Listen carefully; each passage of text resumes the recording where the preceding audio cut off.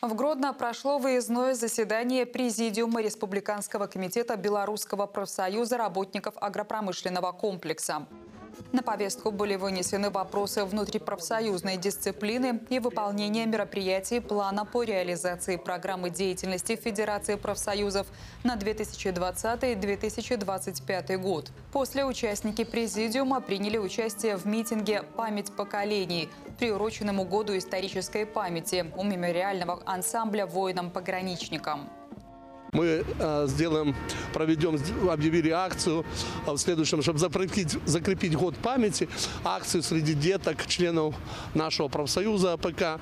Напишут сочинения, мы создадим книгу сочинений э, с премиями, утвержденным по, всем, по всей республике, чтобы памяти своих дедов, прадедов, ну в основном уже будут прадедов писать. И эта книга будет издана, посвящена году исторической памяти, чтобы закрепить вот в следующем году году мы объявим конкурс. Мы сегодня на президиуме приняли такое решение.